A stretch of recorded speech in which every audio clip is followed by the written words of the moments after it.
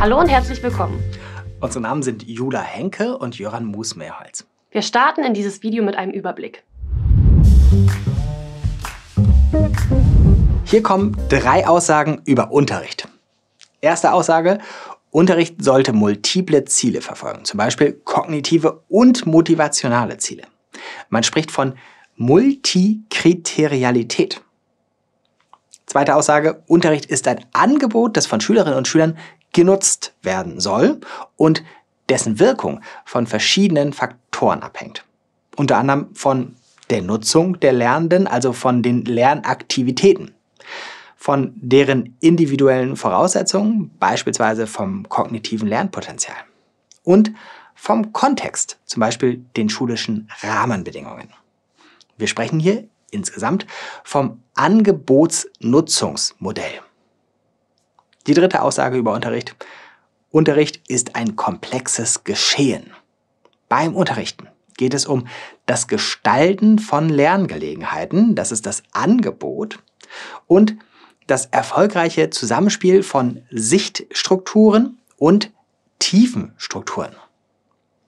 Die Sichtstrukturen, die auch Oberflächenstrukturen genannt werden, liefern den Rahmen für Unterrichtsprozesse. Sie sind vergleichsweise leicht von außen beobachtbar. Sichtstrukturen umfassen in Bezug auf Unterricht erstens Organisationsformen, zum Beispiel Klassenunterricht, zweitens Sozialformen, zum Beispiel Gruppenarbeit und drittens Methoden, zum Beispiel Projektarbeit. Beim Unterrichten geht es auch um die tiefen Strukturen. Sie beziehen sich auf die unterhalb der Sichtebenen stattfindenden Lehr Lernprozesse und umfassen die Qualität der Interaktion der Lernenden mit dem Lernstoff, die Qualität der Interaktion zwischen den Lernenden und der Lehrkraft sowie die Interaktion der Lernenden untereinander. Diese tiefen Strukturen lassen sich in drei Basisdimensionen ordnen. Man bezeichnet sie auch als Basisdimensionen guten bzw. wirksamen Unterrichts oder als die Merkmale der Prozessqualität des Unterrichts. Diese Merkmale umfassen erstens Klassenführung, zweitens konstruktive Unterstützung und drittens kognitive Aktivierung der Lernenden. Tiefenstrukturen sind von entscheidender Bedeutung. Empirische Studien zeigen, gelingende Klassenführung, ein hohes Maß an konstruktiver Unterstützung und eine erfolgreiche kognitive Aktivierung wirken sich positiv auf die Lernentwicklung und die motivationale Entwicklung von Schülerinnen und Schülern aus, unabhängig davon, welche Methoden sowie Organisations- und Sozialformen zum Einsatz kommen.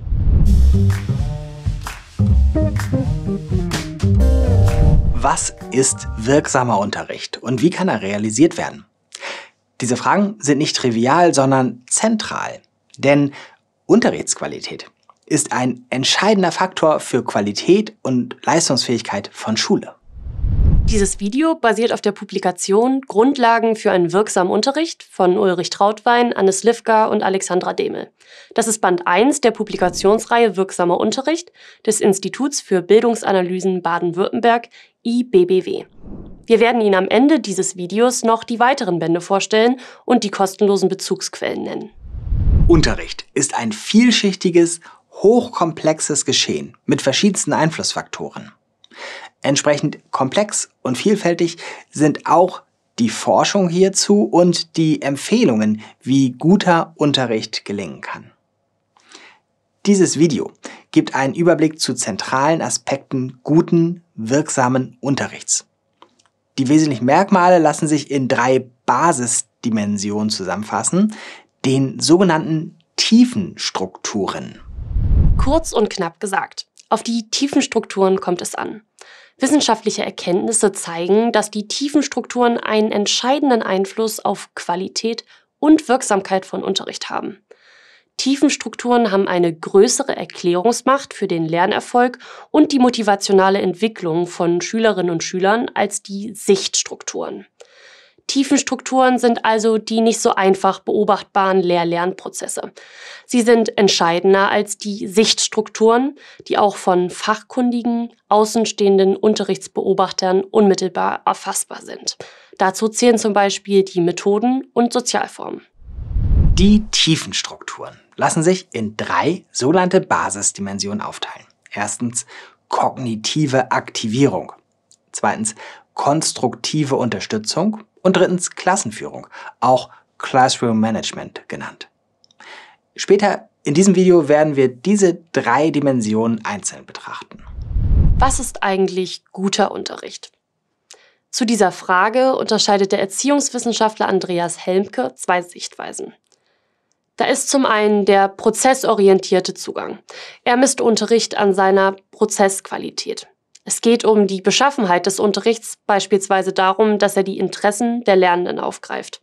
Guter Unterricht wird als Lehr-Lernsituation verstanden, die bestimmten anerkannten Qualitätsmerkmalen entspricht. Die zweite Sichtweise ist der produktorientierte Zugang. Er misst Unterricht an seiner Ergebnisqualität, beispielsweise an den Wirkungen bei Schülerinnen und Schülern und dem Erreichen von Lernzielen. Die aktuelle empirische Bildungsforschung ist sowohl prozess- als auch produktorientiert. Sie untersucht datenbasiert die Frage, welche Merkmale weist ein Unterricht auf, der zu gewünschten Lernergebnissen führt. Generell gilt, guter Unterricht ist dadurch gekennzeichnet, dass er auf der Prozessebene anerkannten Qualitätsmerkmalen entspricht und auf der Produktebene Wirkung, zum Beispiel Lernzuwachs erzielt.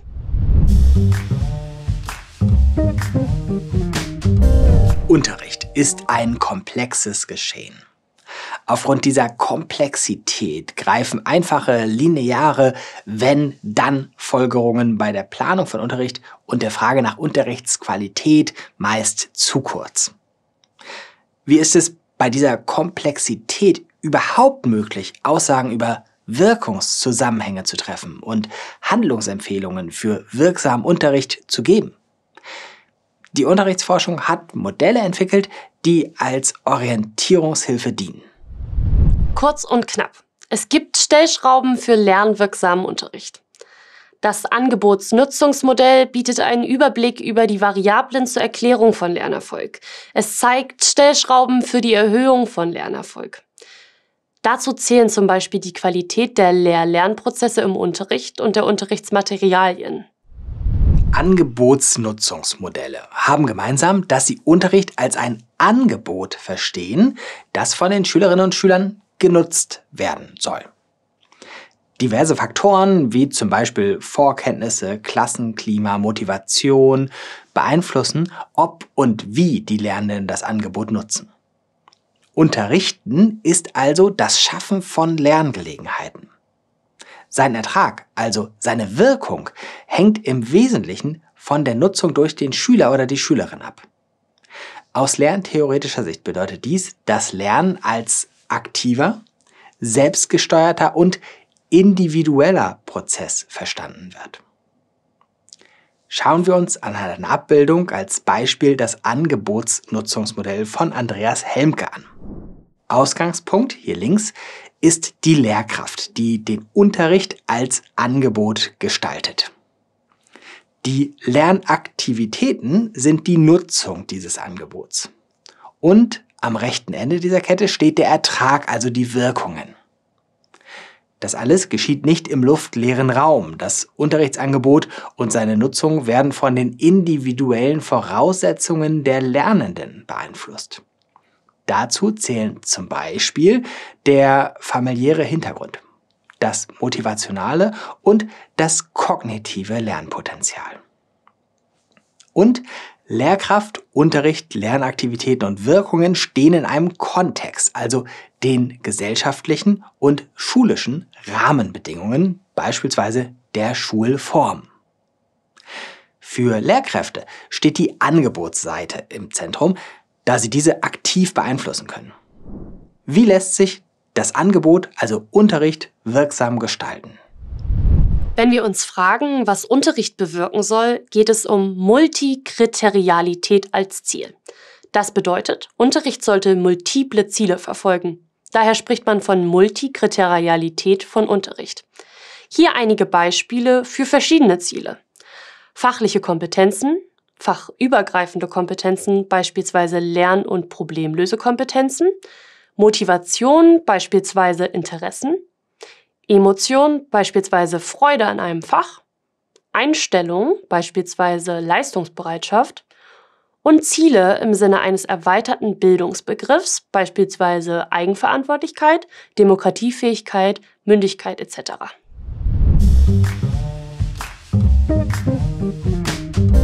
Beginnen wir mit einem Zitat von der Psychologin Mareike Kunter. Erfolgreicher multikriterialer Unterricht ist nicht durch ein bestimmtes Vorgehen gekennzeichnet, sondern besteht aus der gelungenen Kombination verschiedener Gestaltungselemente, ist also in der sogenannten Orchestrierung diverser Strategien zu sehen.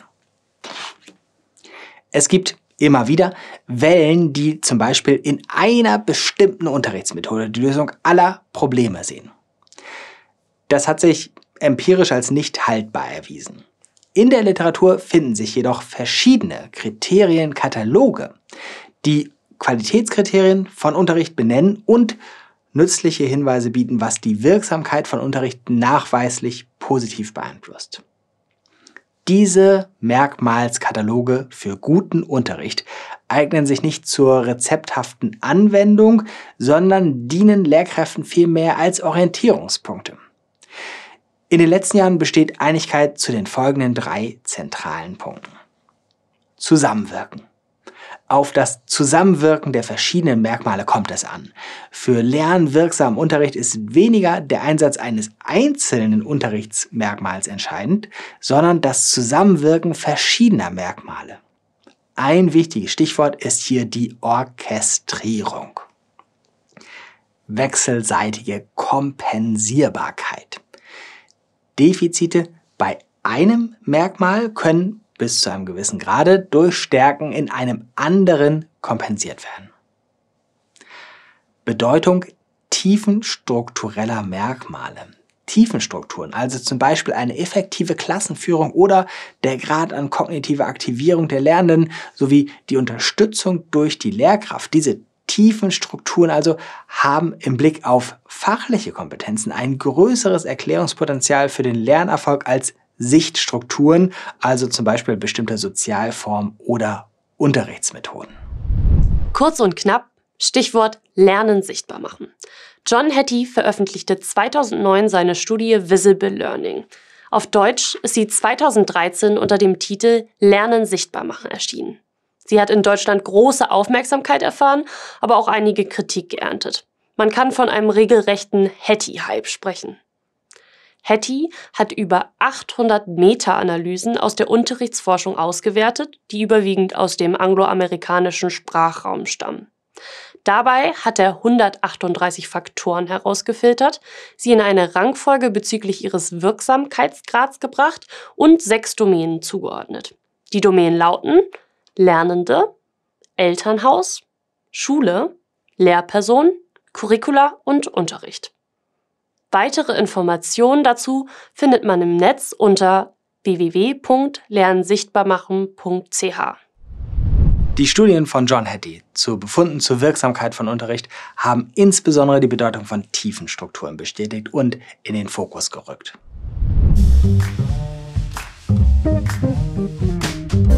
Schauen wir genauer auf das Konzept von Sicht- und Tiefenstrukturen. Es kann auch mit der Eisbergmetapher beschrieben werden. Wie bei einem Eisberg ist nur ein gewisser Teil des Unterrichts sichtbar. Das sind die Sichtstrukturen. Währenddessen sind wesentliche und für den fachlichen Leistungszuwachs bedeutsame Teile unter der Wasseroberfläche verborgen. Hier sprechen wir von tiefen Strukturen. Guter Unterricht beachtet sowohl die Sichtstrukturen als auch die Tiefenstrukturen. Entscheidend ist zu differenzieren, welche Unterrichtsziele im Vordergrund stehen sollen, beziehungsweise welchen Stellenwert die verschiedenen Aspekte für das Lernen haben. Unterricht lässt sich auf verschiedenen Ebenen betrachten. Auf dieser Abbildung sind die Ebenen in Tiefenstrukturen und Sichtstrukturen aufgeteilt. Schauen wir zunächst auf die Sichtstrukturen. Sie geben den Rahmen von Unterrichtsgestaltung vor und sind auch für fachkundige, außenstehende Unterrichtsbeobachter und Beobachterinnen schon innerhalb weniger Minuten erfassbar. Sichtstrukturen sind zentrale Bestandteile bei der Unterrichtsplanung, denn sie liefern das generelle Setting, um das Lernen im Unterricht zu ermöglichen. Dieses Setting lässt sich auf verschiedenen Ebenen beobachten und beschreiben. Die erste Ebene umfasst generelle Organisationsformen. Damit sind die strukturellen Rahmenbedingungen von Unterricht gemeint, zum Beispiel Regelunterricht oder Förderunterricht. Auf der zweiten Ebene finden wir Methoden, also Formen der Unterrichtsplanung und Unterrichtsgestaltung, die sich auch auf mehrere Unterrichtsstunden beziehen können und die nach bestimmten Prinzipien gestaltet sind. Hier geht es zum Beispiel um die Rolle der Lehrkraft und die eingesetzten Sozialformen. Es gibt eine große Vielfalt an Methoden, unter anderem direkte Instruktion und Projektarbeit. Durch die Wahl der Methoden lassen sich etwa überfachliche Kompetenzen gezielt fördern, beispielsweise Eigenständigkeit, Teamfähigkeit etc. Innerhalb einer Unterrichtsstunde können auch wechselnde Methoden zum Einsatz kommen. Stichwort Methodenvielfalt. Auf der dritten Ebene finden wir die Sozialformen. Sie beschreiben die Gestaltung der sozialen Interaktion innerhalb des Unterrichts, zum Beispiel Gruppenarbeit, Partnerarbeit oder Einzelarbeit. Stichwort Methodenvielfalt. Forschungsergebnisse zeigen, dass Methodenvielfalt besser ist als die Beschränkung auf einzelne Methoden. Keine Methode ist per se besser und die Vielfalt und der passende Einsatz sind entscheidend. Aber was bedeutet das für Sie als Lehrkraft? Sie sollten ein umfassendes Repertoire an verschiedenen Methoden beherrschen, die Sie je nach Kontext und Ziel flexibel anwenden und kombinieren. Dazu gehört auch, dass sie die Potenziale und Grenzen der einzelnen Methoden kennen und bezogen auf ihren eigenen Unterricht reflektieren. Es gibt viele praxisorientierte Bücher zu Unterrichtsmethoden, auf die Sie zurückgreifen können, um Ihr Wissen zu vertiefen und praxisnahe Beispiele mit Anwendungstipps für Ihren Unterricht zu erhalten. Konkrete Literaturangaben finden Sie im Text, auf dem dieses Video basiert. Dort finden Sie übrigens auch ein Glossar zu den zentralen Begriffen aus diesem Video. Organisationsformen, Methoden und Sozialformen bilden den Rahmen für Lernprozesse und sind damit bedeutende Faktoren für die Gestaltung lernwirksamen Unterrichts. Dieses Video basiert auf Band 1 der mehrteiligen Publikationsreihe Wirksamer Unterricht des Instituts für Bildungsanalysen Baden-Württemberg. Und diese Reihe widmet sich nicht den Sichtstrukturen, sondern den Tiefenstrukturen von Unterricht. Die Unterrichtsforschung geht heute davon aus, dass vor allem die Tiefenstrukturen für die Qualität und den fachlichen Ertrag von Unterricht bedeutend sind. Sie haben den entscheidenderen Einfluss auf die Lernerfolge als die Sichtstrukturen.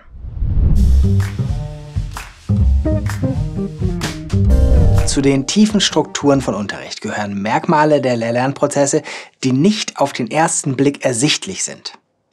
Um noch einmal auf die Eisbergmetapher zurückzukommen, hier handelt es sich um die unter der Wasseroberfläche verborgenen, aber gewichtigen und tragenden Inhalte.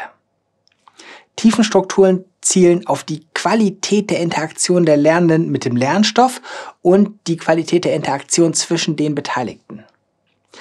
Schafft es die Lehrkraft, dass die Schülerinnen und Schüler aktiv über den Lernstoff nachdenken und ihn bearbeiten? Wie ist der Umgang miteinander in der Klasse? Ist es durch eine gute Klassenführung der Lehrkraft allen Schülerinnen und Schülern möglich, sich auf den Unterrichtsgegenstand zu konzentrieren? Unterstützt die Lehrkraft die Lernenden konstruktiv beim Lernen und hilft sie ihnen dabei, aus Fehlern zu lernen? Diese Fragen verdeutlichen, um was es bei den tiefen Strukturen von Unterricht geht. Kurz und knapp. Eine Anmerkung zum Verhältnis von Sicht- und Tiefenstrukturen. Innerhalb der gleichen Sichtstruktur, beispielsweise bei der Anwendung der gleichen Methode, wie Projektarbeit oder der gleichen Sozialform wie Gruppenarbeit können sehr unterschiedliche Lehr-Lernprozesse stattfinden. Warum ist das so? Es liegt an den tiefen Strukturen. Schauen wir genauer auf die tiefen Strukturen. Man kann Tiefenstrukturen in drei Basisdimensionen ordnen und Handlungsempfehlungen für Lehrkräfte ableiten. Zentral ist, dass wirksamer Unterricht nicht nur an einer Dimension festgemacht werden kann, sondern es vielmehr auf das erfolgreiche Zusammenspiel auch mit den Sichtstrukturen ankommt. Das Stichwort lautet Orchestrierung.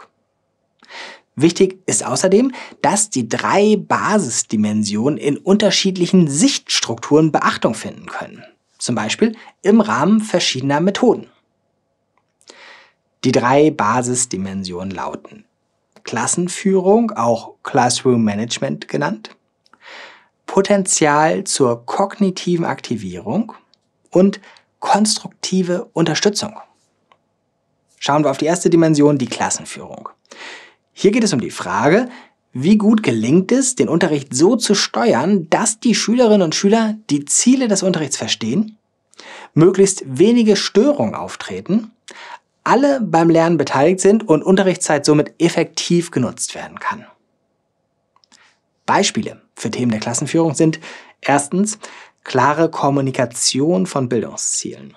Zweitens frühe Einführung und Begründung von Regeln und Routinen. Drittens konsequenter Umgang mit Störungen. Viertens, gut geplante Bereitstellung von Unterrichtsmaterial.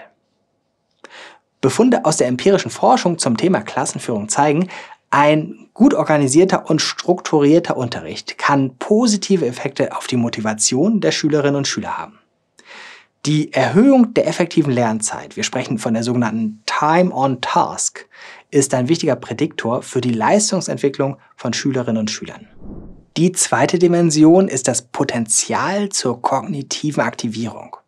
Dahinter steht die Frage, zu welchem Grad werden die Lernenden angeregt, sich aktiv und engagiert mit dem Lernstoff auseinanderzusetzen und sich dabei vertieft mit den Inhalten zu beschäftigen. Auch hier einige Beispiele. Es geht um erstens Aufgaben, die an Vorwissen anknüpfen.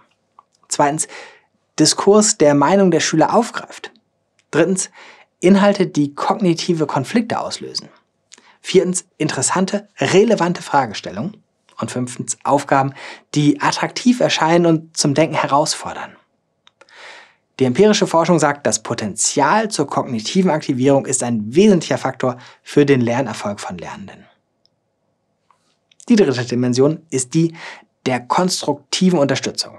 Sie fragt, auf welche Weise hilft die Lehrkraft den Lernenden, wenn Verständnisprobleme auftreten und wie sehr ist die Interaktion zwischen Lehrkräften und Lernenden durch Wertschätzung und Respekt geprägt.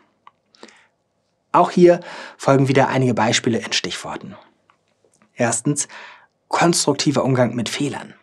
Zweitens Geduld und angemessenes Tempo. Drittens freundliche, respektvolle Beziehungen. Viertens formatives Feedback. Und fünftens Scaffolding, also adaptive Hilfestellung, damit alle die Lernziele erreichen können. Wir wissen aus der Forschung zur konstruktiven Unterstützung, dass gelungenes Feedback ein zentraler Faktor für erfolgreiches Lernen ist. Eine positive Schüler-Lehrer-Beziehung sowie ein wertschätzender Umgang zwischen allen am Lernprozess beteiligten Personen sind förderlich für die psychosoziale Entwicklung, für die Motivation und für das Selbstkonzept. Zudem ist sie ein wichtiger positiver Prädiktor für Selbstvertrauen und das Interesse am Unterricht. Soweit ein Überblick über die drei Dimensionen. Welche Hinweise lassen sich hieraus für die konkrete Unterrichtsgestaltung ziehen? Antworten auf diese Frage finden Sie in der Publikationsreihe Wirksamer Unterricht des Instituts für Bildungsanalysen Baden-Württemberg, kurz IBPW. Die Reihe zeigt, wie kognitiv anregender und aktivierender, konstruktiv unterstützender Unterricht gestaltet werden kann. Basierend auf zentralen Erkenntnissen aus der Unterrichtsforschung bietet die Reihe praktische Umsetzungshilfen und liefert konkrete Ideen für die Unterrichtsgestaltung. Weitere Einzelaspekte wirksamen Unterrichts werden Zug um Zug aufbereitet. Die IBBW-Reihe Wirksamer Unterricht umfasst bisher die folgenden Bände. Band 1 Grundlagen für einen wirksamen Unterricht. Die Inhalte zu Band 1 kennen Sie schon, weil dieses Video hier darauf basiert. Band 2 kognitive Aktivierung im Unterricht. Band 3 konstruktive Unterstützung im Unterricht. Band 4 kooperatives Lernen im Unterricht. Band 5 formatives Feedback im Unterricht. Band 6 Aufgaben im Fachunterricht. Band 7 Umgang mit Fehlern im Unterricht. Band 8 Sprachsensibler Fachunterricht. Weitere Bände werden folgen. Alle Bände gibt es zum freien Download auf der Website des IBBW. Noch ein weiterer Tipp betrifft den Unterrichtsfeedbackbogen Tiefenstrukturen. Um Beobachtung und Reflexion von Unterrichtsqualität in der Praxis zu unterstützen, wurde am IBBW der Unterrichtsfeedbackbogen Tiefenstrukturen, kurz UFB, entwickelt. Mit Hilfe des Bogens kann Unterricht entlang der drei Basisdimensionen von Unterrichtsqualität, also kognitive Aktivierung, konstruktive Unterstützung und strukturierte Klassenführung eingeschätzt werden. Der Bogen wird durch ein begleitendes Beobachtungsmanual ergänzt. Die Einsatzmöglichkeiten sind vielfältig. So kann der UFB für die individuelle Selbstreflexion, zur Unterrichtsvorbereitung, für die kollegiale Hospitation und in Beratungskontexten der Aus- und Fortbildung in allen Phasen der Lehrkräftebildung eingesetzt werden. Weitere Informationen sowie der UFB sind frei im Netz verfügbar.